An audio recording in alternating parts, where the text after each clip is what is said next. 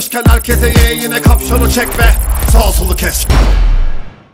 Evet sevgili arkadaşlar merhabalar. Hepiniz yeni programımıza hoş geldiniz. Cumartesi günüyle devam ediyoruz. Cumartesi gününden birçok karşılaşma var. Bülten biraz yoğun yani size çıkarmış olduğum karşılaşmaların sayısı biraz fazla. O yüzden hızlı geçeceğim. Tabii açıklayacağım şeyler de var. Onları da sizlere hızlı bir şekilde bölümün başında aktarmaya çalışarak başlayacağım. Bildiğiniz gibi soru cevap etkinliklerimiz vardı. Ekim ayında 17'sinden itibaren başlamıştık ve sizlere çeşitli sorular sormuştuk. Bu soruların cevaplarından yapmış olduğumuz çekilişleri Instagram hesabımız Atistix TV üzerinde yayınladık ve 4 tane sevgili dostumuz hemen ekrana verelim ve isimlerini de hemen söyleyelim. Tebrik ediyoruz kendilerini. Medyamızdan 100 liralık çek kazandılar. 4 kişiye 400 lira şeklinde hediyelerini aktardık biz. Bazı arkadaşlarımız ulaşmadılar bizlere. YouTube üzerinden kendi profillerinden bizlere ulaşırlarsa hemen ödülleri de takdim edilecek. Kazananları açıklayayım isterseniz kısa bir şekilde. Ozan Irmak, Efe Yamak, Semih Kıvıkoğlu ve Ferdi Yiğit kardeşlerimizi tebrik ediyorum ben. Bu ayda tabii ki de yine etkinliklerimiz devam edecek ve ay sonunda Kasım ayının sonunda yine yapacağımız çekilişle birlikte biz değerli dostlarımıza hediyelerini aktarmaya çalışacağız. İsterseniz hemen çarşamba gününün bilançosuyla devam edelim. Kısa bir şekilde neredeyse tulum çıkartıyorduk çarşamba günü. Ekranda görmüş olduğunuz gibi Leipzig mücadelesinden bir sürpriz beklediğimi sizlere aktarmaya çalışmıştım. Ancak Leipzig mücadelede beklediğimiz tarzda bir oyun sergilemedi ve farklı bir şekilde 5 golle birlikte Old Trafford'dan ayrıldı. Tabi konuşacağız bunları, değerlendireceğiz Leipzig mücadelelerini anlatırken sizlere. Onun dışında yapmış olduğumuz tüm ideal tercihler kazandı ve 2.60 civarında da bir orandan ikinci kuponumuzun kazandığını söyleyelim. Hatta ilk kombinimizden de yine bazı yorumları güzel şekilde değerlendirenler var. Ben tebrik ediyorum. Çarşamba günü de yine pazartesi günkü gibi güzel geçmiş oldu ve bu hafta sadece salı gününde beklediğimiz gibi devam edemedik. Perşembe gününü de merak ediyoruz. Ben perşembe akşamı sizlere videoyu aktarıyorum. Mücadelelerde henüz başlamadı.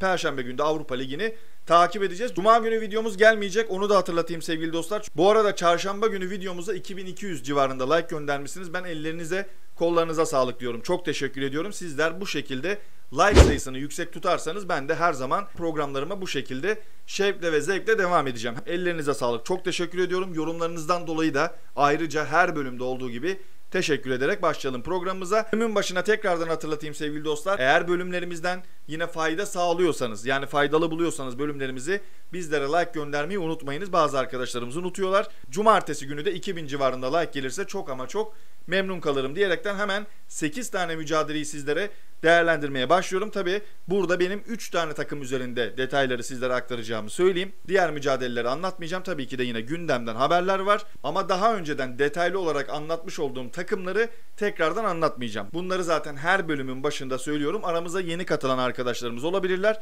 Normal şartlarda bütün takımları çok fazla detaylı şekilde ben sevgili dostlarıma anlatmaya çalışıyorum. İzleyemeyenlere takip edemeyenlere anlatmaya çalışıyorum ve kendi naçizane fikirlerimi söylüyorum. İddia kuponu yapanlar da varsa değerlendirmelerde bulunabiliyorlar. Kendi kuponlarının yanında. Bunları da hatırlatayım isterseniz sevgili dostlar. Şimdi Göztepe ile Alanya Spor mücadelesi var. Cumartesi günü bu karşılaşma için çok fazla not aldım ama hepsini söyleyemeyeceğim tabii ki de. Çünkü dediğim gibi 8 tane mücadele var. Göztepe ile Alanya Spor'u bazı konularda karşılaştırdım ben. Tabii ki de Alanya Spor'un bu mücadelede bir adım önde olduğu gözüküyor. Kadro kalitesiyle birlikte oynamış olduğu futbolla birlikte. Ancak bir ancak var. Virgül koyarak devam ediyorum. Hani her zaman şunu anlatıyorum ya Göztepe İlhan Hoca'nın takımın başına gelmesinden sonra deplasmanlarda özellikle beraberliğe çok fazla çıkan bir takım ve istemiş olduğu puanları da şu iki sezon genelinde şu ana kadar almış gibi gözüküyor ki bence de bu felsefe doğru. İlhan Hoca bunu iyi de uyguluyor. Mesela geçtiğimiz hafta Kasımpaşa mücadelesinde biz bir birlik bir beraberlik bekliyorduk aslında ama mücadele 0-0 sona erdi. Karşılıklı goller bu mücadelede gelmedi ama Göztepe yine istemiş olduğu deplasman puanını İstanbul deplasmanından neticeye baktığımızda almış oldu. Tabi bu mücadelede Göztepe iyi futbol oynadı mı? Hemen ondan da bahsedelim. Çok kötü bir futbol oynadı. Özellikle yavaş futboluyla birlikte eleştiriler aldığını söyleyelim. Göztepe'li arkadaşlarımız da mesela Göztepe'yi bu mücadelede çok fazla beğenmemişler. Bizlere gönderdiler mesajlarını. Ben de bir Göztepe'li olarak bu mücadelede Kasımpaşa'yı biraz daha beğendim. Hatta Mehmet Hoca'nın takımı Kasımpaşa'nın atmış olduğu bazı goller vardı. Tabi sonuca bakmak gerekiyor. Futbol sonuç oyunu olduğundan dolayı oyunu ayrı bir tarafa koyarak değerlendiriyoruz her zaman.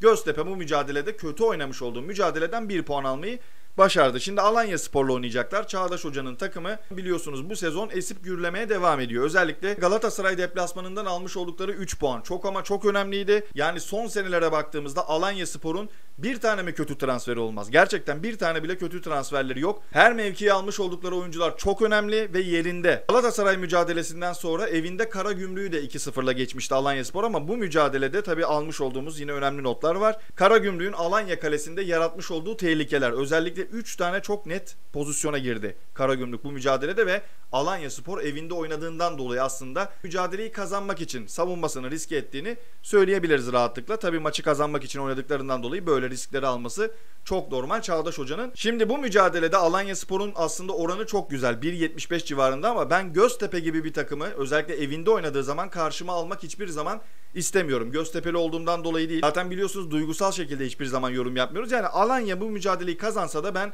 kalesinde gol görebileceğini düşünüyorum. Çünkü özellikle mesela Göztepe'nin evinde oynamış olduğu mücadelelerde duran toplarda çok fazla etkili olduğunu söyleyebiliriz. Birinci olarak bunu söyleyebiliriz. Onun dışında özellikle Göztepe'nin yine evinde oynamış olduğu karşılaşmalarda akan oyunda çok fazla pozisyona girebildiğini söyleyebiliyoruz. Örnek verebileceğimiz bir mücadele var. Referans alabileceğimiz bir mücadele var. Fenerbahçe mücadelesi. Fenerbahçe'de bu mücadelede çok fazla öne çıkarak oynamıştı hatırlayacaksınız ve Göztepe'de istemiş olduğu pozisyonları bulmuştu. Alanya Spor'un da ben zaman zaman karşılaşmayı kazanmak isteyeceğinden dolayı çok fazla öne çıkacağını düşündüğümden Göztepe'nin bir gol bulabileceğini düşünüyorum sevgili dostlar. Tabii ki de Alpaslan Öztürk yok mesela bu mücadelede olduğu zaman çok farklı bir şekilde takımı motive edebilen bir oyuncu oynamayacak ama Göztepe yine ideale yakın kadrosuyla sahada olacağından dolayı bu mücadelede ben Alanya kalesinde gol bulabileceğini düşünüyorum. Ayrıca mücadelenin tempolu bir şekilde geçebileceğini düşünüyorum. Böyle 2-1, 2-2 civarında bir skor da çıkarsa bu mücadelede şaşırmam ben.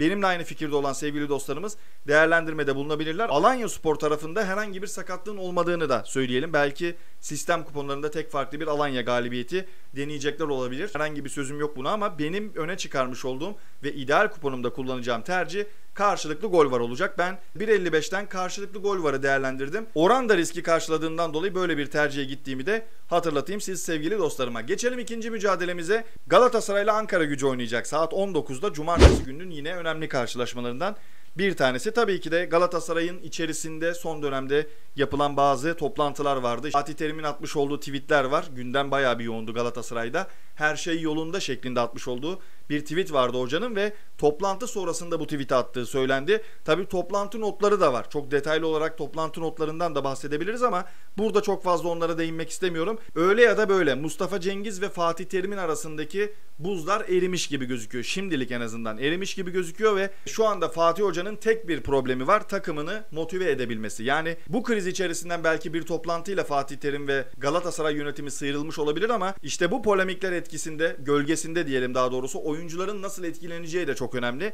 Ben Fatih Hoca'nın bu krizi daha önceden çözmüş olduğu gibi seneler önce de geçtiğimiz sezonlarda da çözmüş olduğu gibi çözebileceğine inanıyorum ve Ankara gücü mücadelesinde Galatasaray'dan net bir galibiyet bekliyorum. Zaten şu anda Galatasaray'ın oranı 1.28. Ben bu oranın maç saatine kadar 1.18'lere kadar bile düşebileceğini düşünüyorum. O yüzden bir an önce değerlendirmekte fayda görüyorum ben. Galatasaray'ın Ankara gücünü yenmesini bekliyorum. Çok fazla üzerinde durmayacağım. Çünkü çok ideal bir tercih. Ankara gücünün kadrosundan vesaire bahsetmeyeceğim. Fuat Hoca elinden geleni yapacaktır ama Galatasaray'ın da bir diriliş mücadelesi bu. Falcao olmasa bile ileride ya Babel'le ya da Cagney ile birlikte Fatih Hoca'nın başlamasını ve bu mücadelede 2-0 ya da 2-1'lik bir galibiyet alabileceğini düşünüyorum ben.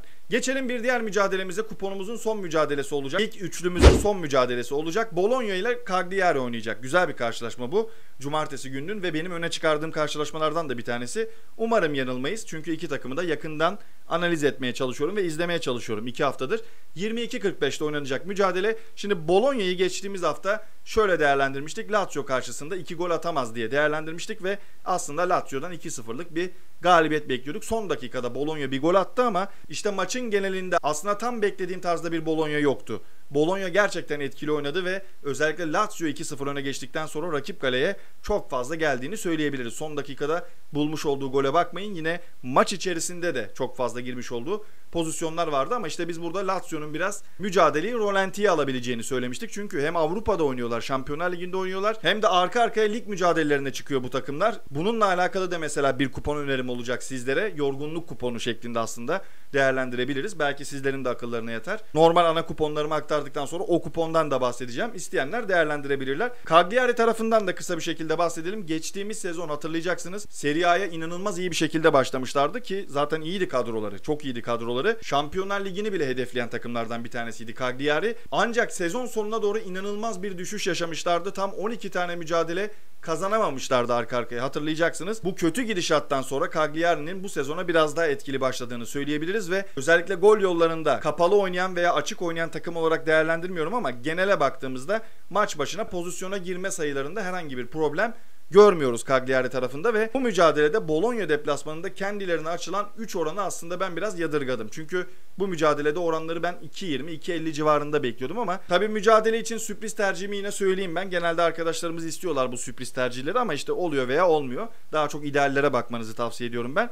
Cagliari aslında bu mücadelede bir sürpriz yapabilirmiş gibi geliyor bana. Ancak Bologna'yı geçtiğimiz hafta çok detaylı bir şekilde anlatmıştım sizlere ve bu tarz karşılaşmalarda özellikle hücum yapan rakiplerine karşı pozisyon bulabilecek bir takım. İleride çok atletik oyuncuları var. O yüzden Bologna'nın ben evinde rakibine de gol atabileceğini düşünüyorum ve haftanın en güzel karşılıklı gol var mücadelelerinden bir tanesi olarak bu karşılaşmayı değerlendiriyorum. Ben şu an için karşılıklı gol varın oranı 1.38 şeklinde isteyenler değerlendirebilirler. Ayrıca şunu da söyleyeyim hemen kupona geçmeden önce. Bologna şu anda Serie A'da en iyi duran top kullanan takımlardan bir tanesi. Yani ilk 6'da yer alıyor. O yüzden Bologna'nın bu mücadelede Cagliari kalesinde gol bulması çok sürpriz olmayacakmış gibi gözüküyor. Belki 2-1'lik bir Cagliari galibiyeti çıkabilir bu mücadelede. Benim şahsi fikrim. İsteyenler bu şekilde de değerlendirebilirler. İsterseniz günün kuponuna bir bakalım. Üçlü kuponuna bir bakalım. Alternatif kuponumuza birazdan geçeceğiz. Göztepe ile Alanya Spor oynayacak karşılıklı gol var. Düşüncem var. Galatasaray Ankara gücü mücadelesine doğrudan bir aldım ben. 1.5 üzerinde Galatasaray'da açılırsa isteyenler 2-0'lık skora göre de ya da 2-1'lik skora göre de bu tercihi de değerlendirerek oranı da arttırabilirler. Değerli dostlar Bologna Cagliari mücadelesine de karşılıklı gol var dediğimizde 2.73'lük ideal bir oran çıkmış oluyor bu kupondan. Hepinize bol şanslar diliyorum eğer değerlendireceksiniz bu kuponu. Ben güzel bir kupon olduğunu düşünüyorum. Tamamen tavsiye tabii ki de isteyen değerlendirir, isteyen değerlendirmez veya ikili şekilde de mücadeleleri içerisinden seçebilirsiniz. Geçelim bir diğer mücadelemize isterseniz. Şimdi ikili bir kombin önereceğim ben sizlere. Tabii bu iki karşılaşmada Avrupa mücadelesi oynamayan takımlara değinmeye çalıştım ve bildiğiniz gibi yayıncı kuruluş tarafından İngiltere Championship mücadeleleri yayınlanıyor ve biz de bu karşılaşmaları yaklaşık 3 haftadır takip ediyoruz. Ve bu mücadelelerden notlar almaya çalışıyoruz. Hatta hakemsizsiniz.com'u takip eden sevgili dostlarımız bilecekler ki Championship'ten yapmış olduğumuz tercihlerde %60-65 civarında güzel bir şekilde geliyor. Yüksek oranlı tercihlere de gitmeye çalışıyoruz arada. Bazı takımlar var öne çıkarabileceğim. Mesela cumartesi günü yine maçlarını izleyeceğim takımlar var. İsteyenler bunları da değerlendirebilirler. Şimdi size söyleyeceğim bu iki Championship maçıyla alakalı önemli notlar var. Onları sizlere söyleyeceğim ve devam edeceğiz. Program dediğimiz gibi çok yoğun. Cumartesi günü çok karşılaşma olduğundan dolayı sizlere böyle iki tane üç tane tabii ki de karşılaşma yorumlamayacağımızdan dolayı öyle bir program yapmayacağımızdan dolayı birçok karşılaşmanın detaylarıyla birlikte performans sergilemeye çalışıyoruz. Zaten o yüzden de sizlerden like'larınızı istiyoruz sevgili dostlar. Yani burası bir eğlence kanalı değil, kışkırtma kanalı değil. Herhangi bir şey için istemiyoruz. Sizlere çıkarmış olduğumuz notları, harcamış olduğumuz mesaileri aktardığımızdan dolayı beğenilerinizi istiyoruz. Neden istediğimizi de söyleyelim. Nedir bu like olayı falan diyenler vardır. İşte bundan dolayı istiyoruz. Şimdi Championship'te Middlesbrough ile Nottingham Forest oynayacak. Nottingham Forest tarafından başlayayım kısa bir şekilde. Çok fazla savunma yapan, tek tek oyuncularından bahsetmeyeceğim. Çok fazla savunma yapan özellikle bu sezon deplasmanlarda kapalı futbolu benimseyen bir takım Nottingham Forest ve son karşılaşmasını 90 dakika boyunca izlemeye çalıştım ben. Oradan sizlere birkaç tane not vereyim isterseniz. Luton Town maçında biz de hakemsizsiniz.com üzerinde Luton Town'un yenilmeyeceğinden yana tercihimizi kullanmıştık ki burada favori olan taraf Nottingham Forest'tı. Neden böyle bir tercihe gittik? Dediğim gibi Nottingham Forest hızlı futbol oynayamıyor bu sezon. Mesela geçen sezon da Championship'i takip edenler varsa Nottingham Forest özellikle deplasmanlarda iyi sonuçlar alan bir takımdı. Ancak bu sene yapılan bazı transferler var, giden bazı oyuncular var. Bu yüzden sistemleri biraz etkilenmiş gibi gözüküyor ve gerçekten çok yavaş futbol oynuyorlar. Şimdi Middlesbrough gibi bir takımla oynayacaklar. Aslında ben Middlesbrough'un bu mücadeleyi kazanabileceğini düşünüyorum evindeki tempodan dolayı. Middlesbrough bazı özelliklere de sahip. Genelde kanatlardan gelerek çok fazla gol bulabilen bir takım. Middlesbrough ve en çok orta açan takımlar içerisinde de Championship'te üst sıralarda yer alıyor. Uzun boylu oyunculara da sahipler ve yine teknik oyuncu kapasiteleri de çok fazla. Hemen kısa ve özetle söyleyeyim. Benim düşünceme göre aslında Middlesbrough bu mücadeleyi 2.10'dan kazanacak. Ancak ben Nottingham Forest'ın deplasman karnesine baktığımda çok pozisyona giremeseler de mücadeleleri beraberliğe çok fazla kitlediklerinden dolayı maçın berabere bitebileceğine dair bir korkum var. O yüzden 1-0 çifte şansı değerlendirdim ben. 1.22'lik oranıyla şu an için isteyenler mesela bunu böyle değerlendirebilirler. Ben Middlesbrough'un bu mücadeleyi izlemiş olduğum futbola göre kaybedeceğini düşünmüyorum. Yani kendi naçizane fikrimdir bu. İsteyenler bu şekilde değerlendirebilirler. Geçtik diğer mücadeleye. Bournemouth Derby County ile oynayacak. Derby County'de geçtiğimiz sezon biliyorsunuz çok fazla hücum yapan Championship takımlarından bir tanesiydi. Zaten 4 tane çok fazla hücum yapan takım vardı. Hangi takımlardı bunlar? Fulham'ı sayabiliriz geçtiğimiz sezon. Premier Lig'e yükseldiler zaten. Leeds United'ı söyleyebiliriz bunların içerisinde. Ki zaman zaman bu iki takımın da savunma yaptığını da görebilmiştik son haftalarda. Yer kaybı olmaması açısından. Brentford vardı biliyorsunuz ki geçtiğimiz sezon en çok gol atan takımıydı. Ve bunlara ilave olarak hangi takım vardı? Derby County vardı. Şimdi Koku ile birlikte devam ediyor Derby County Wayne Rooney'nin takımı biliyorsunuz. Ve Derby County evinde Cardiff City ile bir bir berabere kalmıştı. Çok fazla pozisyona girebildi mi bu mücadelede? Çok fazla pozisyona giremedi. Ancak rakibine de çok fazla pozisyon vermedi. Derby County biraz açık futbol oynadığından dolayı zaten geçtiğimiz sezonda istemiş olduğu başarıyı yakalayamamıştı. Bu sezonda Premier Lig'den düşen, aslında birkaç tane önemli oyuncusunu kaybeden Bournemouth karşısında da işleri bayağı zor olacaktır. Deplasmanda oynayacaklar. Zaten geçtiğimiz hafta yine katıl butonunda da ben sevgili dostlarıma değerlendirmiştim bu mücadeleyi. Watford'la Bournemouth oynamıştı. Ben bu mücadeleden karşılıklı gol var bekliyordum.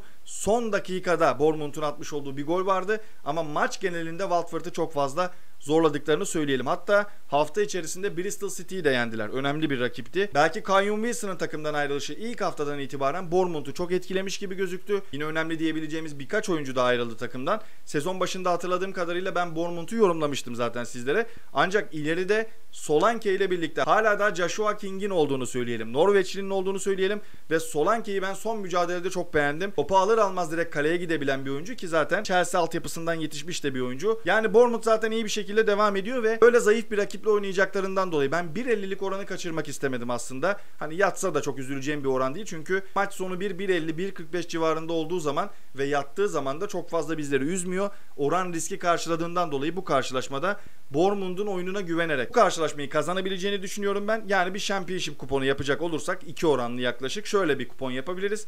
Middlesbrough Nottingham Forest mücadelesinde 1-0 çifte şans alabiliriz. 1.22 gibi bir orandan oranı yükseltmek isteyenler biraz daha risk alabilirler Middlesbrough galibiyetiyle birlikte. Bournemouth Derby County mücadelesine de doğrudan bir şeklinde değerlendirme yaptım. Riskli mi?